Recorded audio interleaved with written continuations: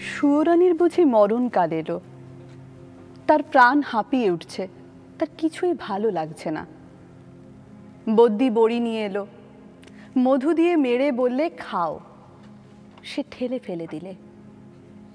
রাজার কানে খবর গেল। রাজা তাড়াতাড়ি সভা ছেড়ে এলো। পাশে বসে জিজ্ঞাসা করলে, তোমার কি হয়েছে? কি চাই? সে গুমড়ে উঠে বললে, তোমরা সবাই যাও। একবার আমার স্যাঙাতনিকে ডেকে দাও। স্যাঙাতনি এলো। রানী তার হাত ধরে বললে সই বসো, কথা আছে। স্যাঙাতনি বললে, প্রকাশ করে বলো। সুয়রানী বললে, আমার সাত মহলা বাড়ির এক ধারে তিনটে মহল ছিল দুয়োরানীর। তারপরে হলো দুটো, তারপরে হলো একটা। তারপরে রাজবাড়ি থেকে সে বের হয়ে গেল। তারপরে দুয়োরানীর কথা আমার আর মনেই রইল না। তারপরে একদিন দোল যাত্রা। নাট মন্দিরে যাচ্ছি ময়ূরপঙ্খী চড়ে। আগে লোক, পিছে লস্কর, ডাইনে বাজে বাঁশি, বাঁয়ে বাজে মৃদঙ্গ। এমন সময় পথের পাশে নদীর ধারে ঘাটের উপরটিতে দেখি একখানি কুঁড়ে ঘর, চাঁপা গাছের ছায়ায়। বেড়া বেয়ে অপরাজিতার ফুল ফুটেছে। দুয়ারের সামনে চালের গুঁড়ো দিয়ে শঙ্খচক্রের আলপনা। আমার ছত্রধারিণীকে শুধলেম, আহা, ঘরখানি কার? সে বললে দু রানীর তারপরে ঘরে ফিরে এসে সন্ধ্যার সময় বসে আছি। ঘরে প্রদীপ জ্বালিনি মুখে কথা নেই। রাজা এসে বললে, তোমার কি হয়েছে? কি চাই? আমি বললাম, এ ঘরে আমি থাকব না। রাজা বললে, আমি তোমার কোঠা বাড়ি বানিয়ে দেব, গজদন্তের দেওয়াল দিয়ে।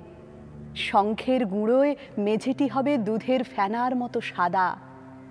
মুক্তোর ঝিনুক দিয়ে তার কিনারে এঁকে দেব পদ্মের মালা। আমি বললাম, আমার বড় সাধ গিয়েছে কুঁড়ে ঘর বানিয়ে থাকি তোমার বাহির বাগানের একটি ধারে। রাজা বললে আচ্ছা বেশ, তার আর ভাবনা কি? কুঁড়ে ঘর বানিয়ে দিলে। সে ঘর যেন তুলে আনা বন ফুল। যেমনি তৈরি হলো, অমনি যেন মুশড়ে গেল। বাস করতে গেলেন, কেবল লজ্জা পেলেন।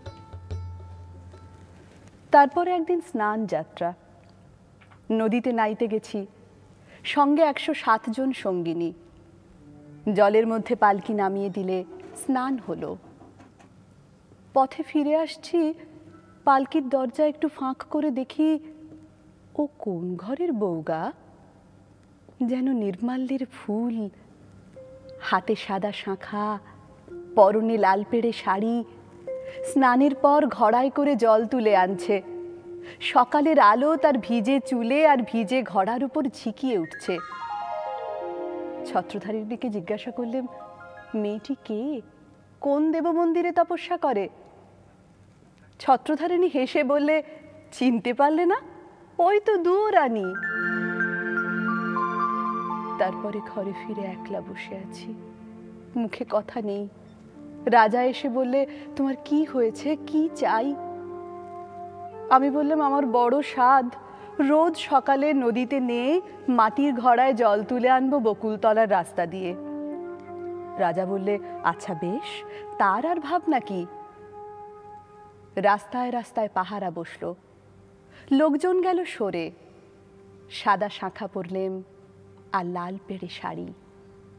নদীতে স্নান সেরে ঘড়ায় করে জল তুলে আনলেম। দুয়ারের কাছে এসে মনের দুঃখে ঘড়া আছড়ে ভাঙলেন যা ভেবেছিলেন তা হলো না, শুধু লজ্জা পেলেন তারপরে সেদিন রাস যাত্রা। মধুবনে জ্যোৎস্না রাতে তাঁবু পড়ল।